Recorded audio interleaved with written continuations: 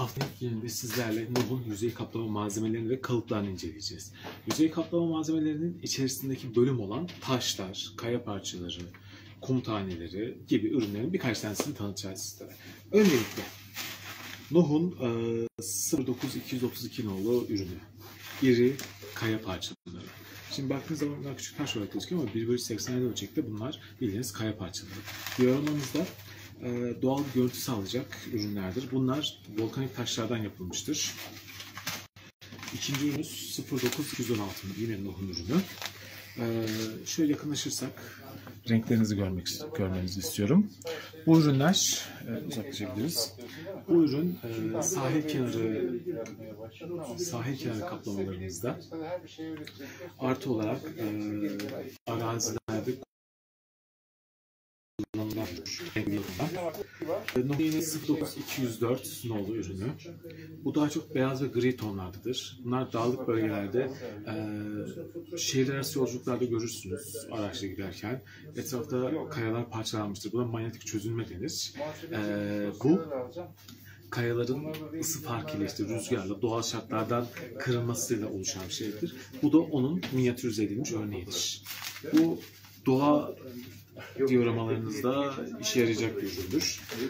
Sonrasında Nuh'un çok güzel bir ürünü olan kaya kalıplarını anlatacağım. Şöyle, e, öncelikle 60.201 nolu ürünü.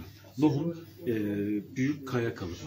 Bu kaya kalıplarının özellikleri dioramanızda e, yapay bir görüntü oluşturmak yerine kendi kayalarımı kendim yapacağım derseniz bu ürünü birebir ihtiyacınız olan.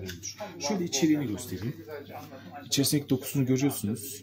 Yani şöyle dıştan gösterdiğim zaman çok kaya olduğu anlaşılmıyor ama içerisinde kalıbın içine baktığınız zaman e, taşın ve kayaların doğal görüntüsü ortaya çıkıyor. Şimdi gelelim kalıbın özelliklerinden bahsedelim. Kalıp silikon malzemeden yapılmıştır.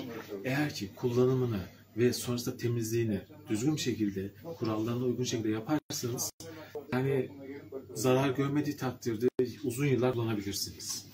Ee, dayanıklı ve esnek silikondan yapılmıştır.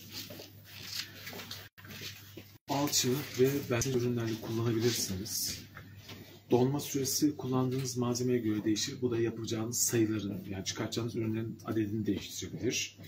Ee, işlem bittikten sonra musluk suyuyla, normal temiz suyla önce yüzeyini temizliyorsunuz. Akabinde sabunlu suyla çok yüzeyini bozmadan temizliğini yapabilirsiniz. Bu büyük kaya parçaları Orta boy kaya parçaları. Yüzeyini istiyorum. 6235 ben yapısı. İçindeki detayları görüyorsunuz. Ne kadar gerçekçi.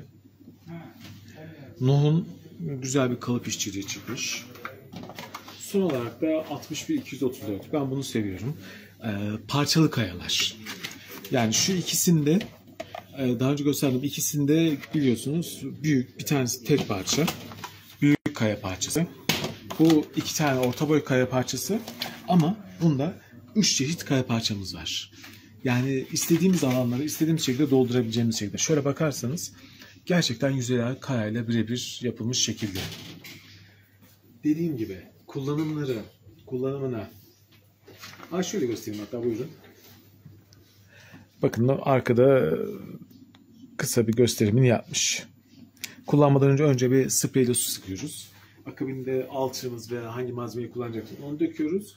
Donmasını bekliyoruz, çıkartıyoruz. Kullandıktan sonra temizliğini vesairesini yaptıktan sonra